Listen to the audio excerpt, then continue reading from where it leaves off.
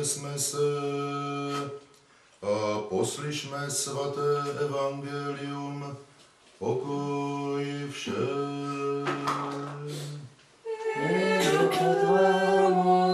Od Lukáše svaté evangelní čtení. Tobě, Pane, sláva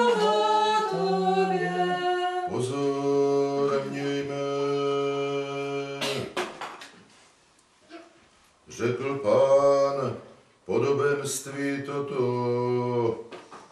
Pole člověka jednoho bohatého hojné úrody přineslo.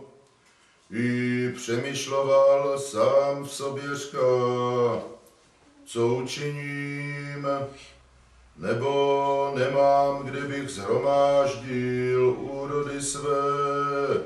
I řekl, toto učiním, zbořím stodoly své a větších nastavím a tu zhromáždíme všecky své úrody i zboží svá a dím duši své. Duše, máš mnoho statku složeného za mnoha léta. Odpočívej, jes, pí, měj dobrou vůli. I řekl jemu Bůh, o blázne, této noci požádají duše tvé od tebe a to, což si připravil, či bude. Tak jest, kdož sobě poklady zhromažďuje a není v Bohu Boho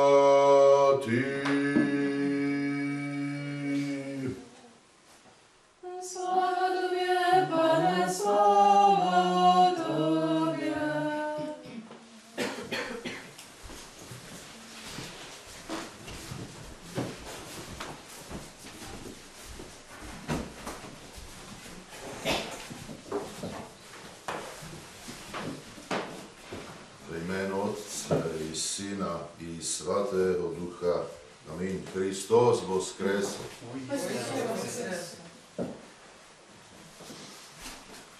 Možná, bratři a sestry, si někdo z nás pomyslí, že je to on sám, který určuje všechno to, co se s ním bude dít. Možná někdo pomyslel, že on sám je to, kdo sebe přivedl i dnes do tohoto svatého pravoslavného chrámu.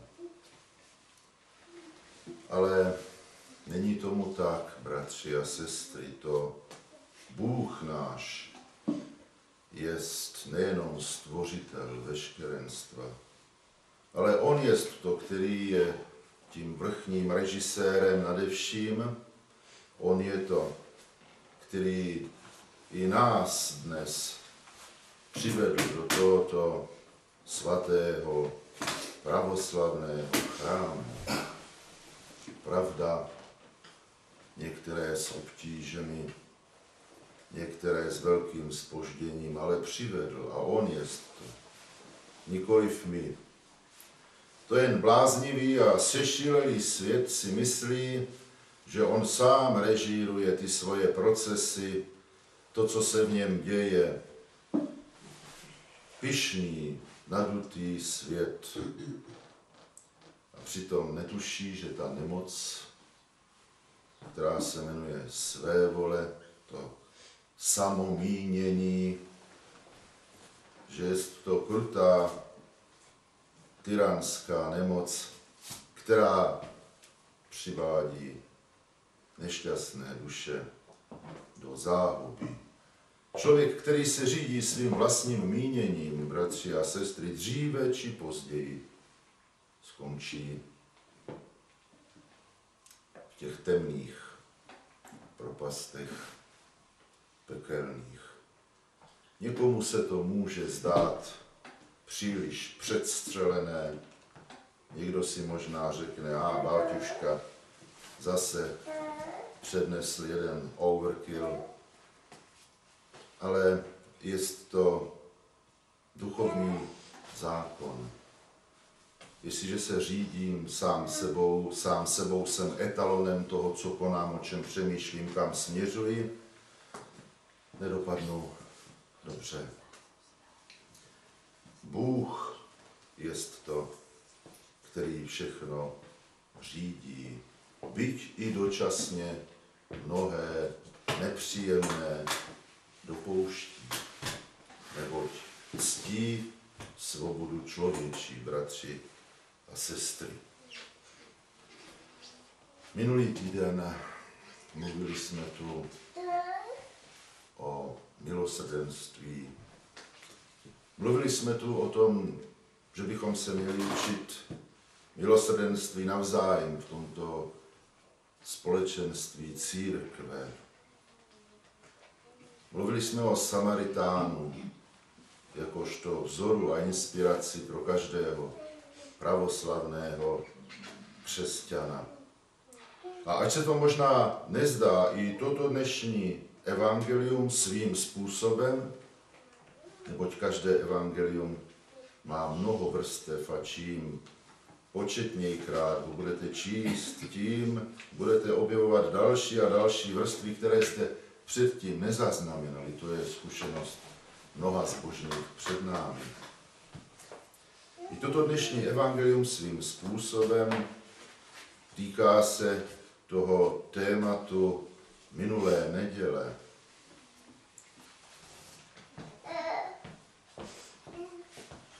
Pole člověka jednoho bohatého hojné úrody přineslo. I přemýšloval sám v sobě řka, co učiním, nebo nemám, kde bych zhromáždil úrody své.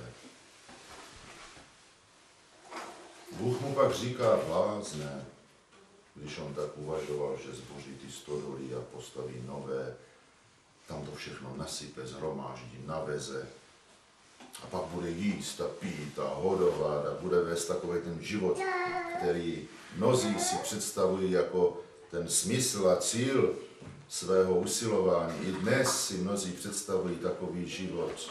Zábava, pohodlí, komfort. Blázne, říká mu Bůh. Proč mu říká blázne? Nejenom proto, že ještě této noci můžeš zemřít, ale to je taky proto, že jsi zapomněl, Komu vděčíš za to, co máš? Protože ten blázen z Evangelia, stejně jako mnozí šílenci dnes, myslí si, že toho, čeho dosáhli, že snad dosáhli, protože jsou tak dobří, a že snad oni jsou jedinými strůjci svého nabitého bohatství, takzvaného úspěchu. Jenže opakujeme stále znovu a znovu, bratři a sestry, Bůh je režisérem, nejvyšším režisérem všeho toho, co se s námi děje, co se děje s tímto světem. A Bůh je to, který dopustí, nebo který dokonce požehná, aby si nabil nějakého majetku, aby si nabil nějakého bohatství, ať už cestou vlastního úsilí nebo pomocí od druhých. Pomůže ti rodina, dostaneš se k velkému dědictví, funguje ti firma, vyděláš hodně peněz. Ale to není člověče jenom tvoje zásluha. Kdyby Bůh to nedopustil či nepožehnal, nemyslí si člověče, že snad by se ti to mohlo podařit. A ten blázen v Evangeliu si myslel, že to všechno, co mu Bůh požehnal, tu hojnou úrodu, Že to všechno může spotřebovat sám, že to je pro něho.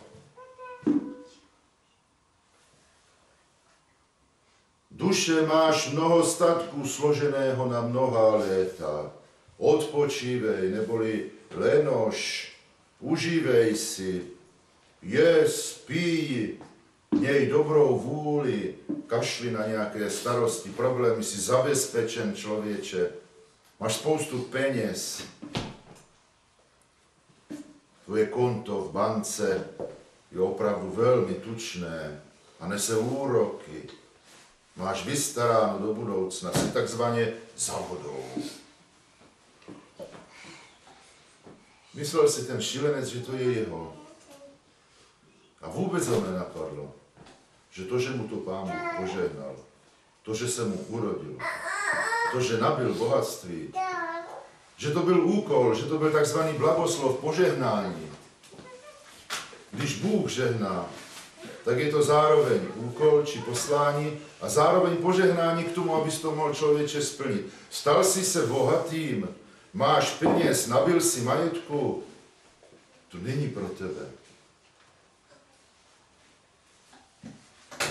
Bůh tě nad tím, co jemu patří, protože jeho je to majetek, jeho je to obilí, jeho jsou to peníze, jeho je všechno na tomto světě, bratři a sestry. On tě ustanovil nad tím správcem. A ty spravuješ jeho majetek, ty spravuješ jeho konto v bance. Ty spravuješ jeho bohatství. A jednoho dne každý z nás, kteří jsme správci nad nějakou částí božího majetku a božího bohatství, z toho správcování budeme vydávat účet. Budeme skládat účet, jak si hospodařil s tím, co mi náleží, synu.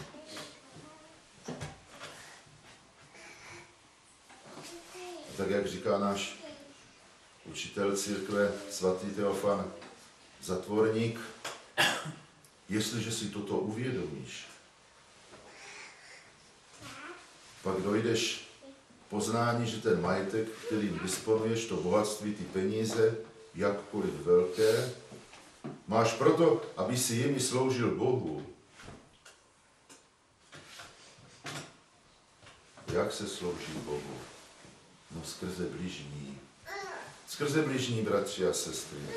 Máš-li něčeho nadbytek, takový malinký nebo takový veliký, s tím nadbytkem musíš krmit potřebné. Když říkáme krmit, myslíme to e, buď doslova, anebo taky obrazně. Není to jenom o tom, že budeš kupovat bezdomovcům z kývu chleba, nebo že jim budeš dávat drobné na pivo. Prostě tím vším, co máš, máš konat dobré skutky, které si máš střádat v nebi, kde je lo, zloděj neloupí a res nežere.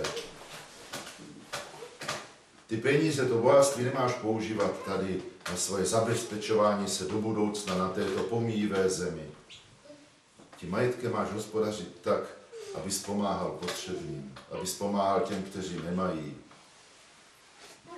Aby se zalíbil Bohu konáním dobrých skutků. Protože pokud to všechno zhrábneš, jak se říká, jenom sám pro sebe, a budeš si myslet, já jsem si vydělal, já jsem si zabezpečil, já jsem si sehnal, ať se ti druhý taky namáhají, ať mají, já to teď spotřebuju pro sebe, já si postavím, já si koupím, já si zařídím. Pokud takhle budeš uvažovat, pak se spronevěřuješ člověče tomu božímu požehnání, které si dostal, když ti pán Bůh poslal ten výdělek, když ti pán Bůh pomohl, aby ti fungovala firma, když ti pán Bůh pomohl, aby si měl zakázku, když ti pán Bůh domohl, dopomohl k místu v kanceláři, kde dobře vyděláváš, když tě pán Bůh prostřednictvím příbuzných obdaroval a tak dále a tak dále. O blázne, této noci požádají duše tvé od tebe, a to, což si připravil, zhromáždil, vydělal, čí bude. K čemu by to jinými slovy, bratře či sestro, všechno bylo to, za čím se slopotil, anebo si k tomu možná i bezpracně přišel? K čemu by to všechno bylo, kdyby si to zhabal pro sebe? Umřeš, to všechno tady zůstane. Ale jestliže si s tím konal dobré skutky, jestliže si to použil tak, jak se Bohu líbí, ty jsi si s pomocí tohoto bohatství pozemského zhromáždil nehynoucí a věčné bohatství v nebi, které tam na tebe čeká. Bůh je spravedlivý účetní. Bůh má naprosto dokonalý přehled o tvých účtech dobrých skutků. Tomu věř. A tak vezmeme si poučení z tohoto dnešního evangelia jednak o marnosti, jestliže jsem sobec, jestliže jsem pišný, jestliže jsem nemocný, tím samomíněním, spoleháním na své vlastní myšlenky a uvažování. A na druhé straně, jak je moudré, jak je spasitelné, když člověk nespoléhá sám na sebe, když se člověk odevzdává Bohu, když člověk chápe a věří tomu, že Bůh je ten režisér jeho života. Ne já sám, ale ty, Bože. A tobě já se odevzdávám. A to, co přijde, je tvoje vůle. A já se té vůli podřizuji. Já nenadřazuji svoji vlastní vůli nad tu tvoji svatou. Víte, v každé svaté liturgii máme takovou jektění a tam máme taková slova, která říkají, že všechno i jeden druhého máme Kristu Bohu předat. I druh druga, i věc život náš Kristu Bohu predadím. Všechno. A to je ten smysl. Všechno odevzdávám Bohu. Já sám se ti, pane, odevzdávám a přijímám tvoji svatou vůli. Děj se se mnou, co ty chceš. Ne, co chci já, co si plánuju.